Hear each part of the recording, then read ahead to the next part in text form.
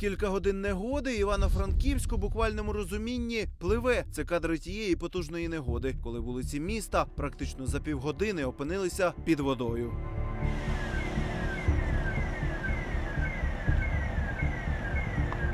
Це вулиця Надрічна. За кількадесят метрів річка Бистриця Солотвинська. Після дощу водойма розлилася по подвір'ях.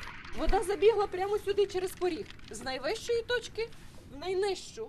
Підтоплено, що могло бути. Негода зіпсувала Галині всі запаси на зиму та ще й знищила врожай. Як перезимувати, жінка тепер не знає. Морква тут була в мене, помідори, огірки, як бачите. Ну нічого не лишилось. І їй ще відносно поталанило, вода не потрапила до хати, на відміну від сусідів. Настільки було багатезно води, що воно підняло саму кришку. Прошу цього, бачите, отако. Це все плавало тут. Ну так, то все плавало, то все будемо казати в воді, от все мокро. Люди скаржаться від великої води на цій вулиці страждають не вперше. Хто винен, знають напевне.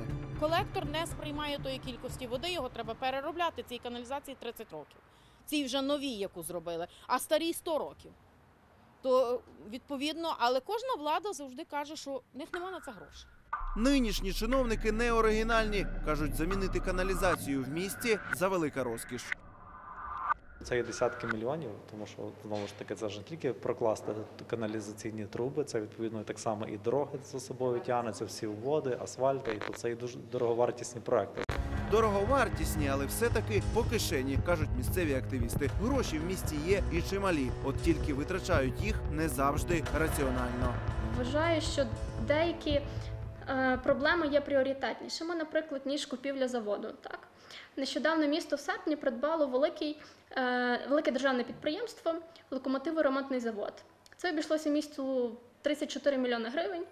Е, за ці кошти можна відремонтувати стоки. Так? Ситуацію з підтопленням міста чиновники обіцяють виправити вже за кілька днів. Для цього розробили два проекти. У випадку паводків, оці власне води, так, які затоплювали ці шість хатів, так, вони будуть стікати в Бистрицю. Е, Це є перший проєкт, крім того, під час е, будівництва розв'язки е, майбутнього моста, який буде проходити розв'язка власне по цій вулиці, ми запроектували вже дощову каналізацію.